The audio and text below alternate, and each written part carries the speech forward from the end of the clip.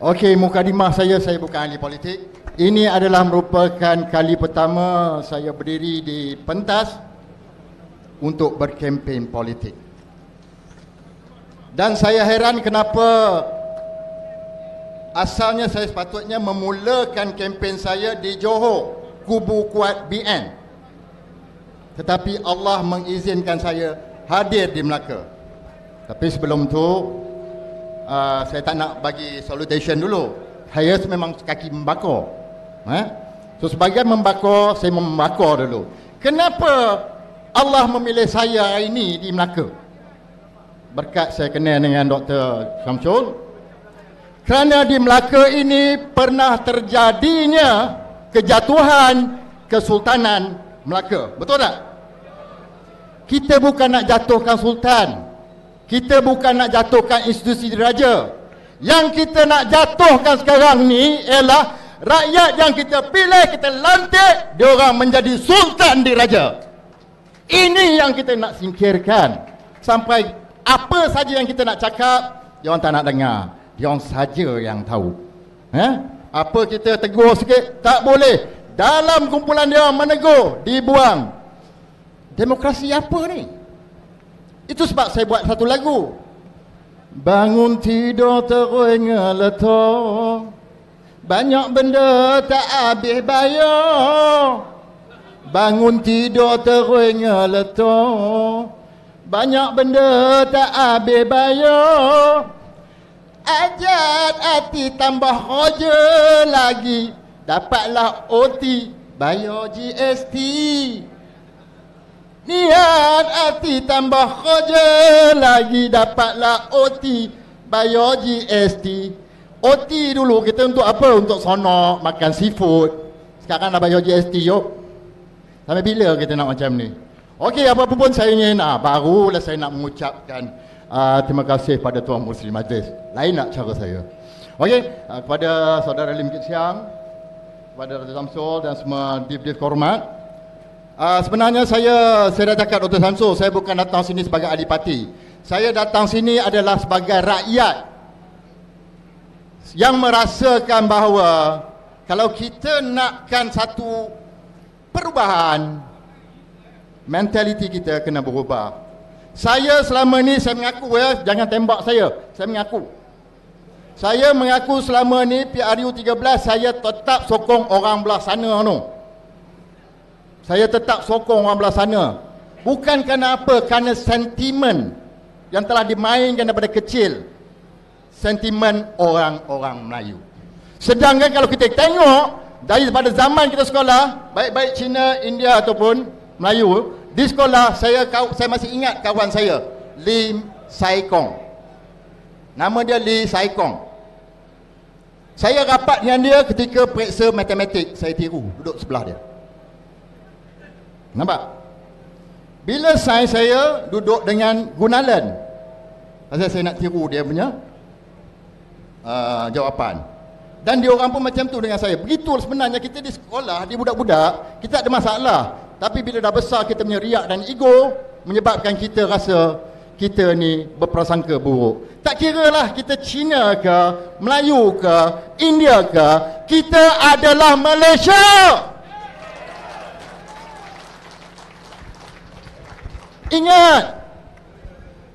Sudah tiba masanya kita hendaklah bersatu hati. Kita tidak boleh meminggirkan satu pihak ke sana. Kerana kita nak membangunkan satu negara Maka apa yang perlu kita buat? Kita memerlukan Pakatan Harapan Yang menggabungkan parti-parti yang Saya rasa lebih baik Daripada parti yang bersultankan Di mereka sebagai seorang raja. Dia orang bersultan sebagai raja. Dia orang rasa dia betul raja.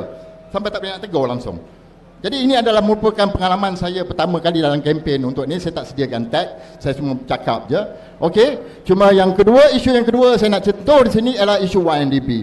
Itulah yang menyebabkan kenapa saya tinggalkan dia orang, saya masuk PH, saya cuba bantu PH. Ya, yeah? Kerana isu MDB itu merupakan satu isu yang memalukan. Peringkat mula apabila ditegur di di di, di apa ni di di di dikabur pada kita semua tak nak mengaku. Sampai ada yang kena buang ada yang kena tuduh bayar kempen sana sini tentang YMDB tapi akhirnya beberapa bulan yang lepas dia mengaku ada silap governance. Apa punya leader kita ni kita tak mau leader macam ni dah yo kalau kita betul-betul nak kita ke depan kita nakkan leader yang betul-betul macam Tuan Mahathir dulu kita nak yang macam Lim Kit Siang yang berani bersuara. Kita nak yang macam Mat Sabu yang rajin berani bersuara. Bukan bersuara dalam kumpulan, tapi bila dihadap media luar, pilih RTM je. Lain semua diketepikan. So this is not fair. Kita rakyat. Okay, kita rakyat. Saya meletakkan risiko Pasal apabila saya mengumumkan dalam Twitter, sosial saya sebagai seorang pelakon, apabila saya memberi kenyataan terbuka menyokong PH, macai-macai hentak saya anak haram, artis tak laku. Tapi itu tidak menjadi kepentingan pada saya. Itu bukan penting bagi saya. Yang penting, saya nak negara saya menjadi lebih baik.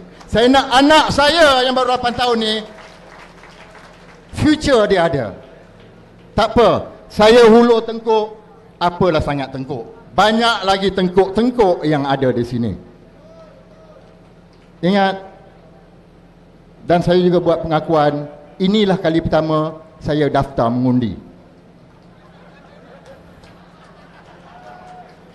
Betul. Pasal dulu saya sokong BN, saya tahu dia mesti menangnya.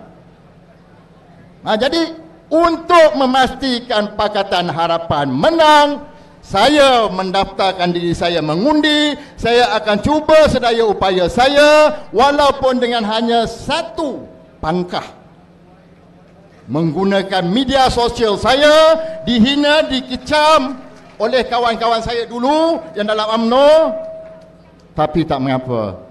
Kita nak yang terbaik untuk negara kita dan anda-anda semua supaya kita boleh hidup tenang dan aman tidak berprasangka buruk dan insya-Allah lepas ini kita boleh minum teh tarik kita siap belanja lagi. Sekarang nak belanja dah tak susah dah. Pasal 6%. Dulu 5 6 orang sekali bayar. Ini sekarang ni kalau 5 orang ada kat rumah ni dah kira dah. 5 ringgit. Tak boleh. Jadi insya-Allah tuan-tuan, kalau saya bekas seorang selebriti sanggup mengambil risiko demi negara kita Malaysia saya menyeru anda semua. Sama-samalah.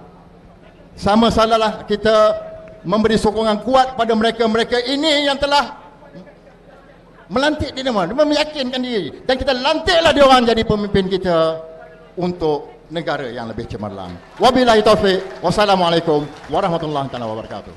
Terima kasih kepada abang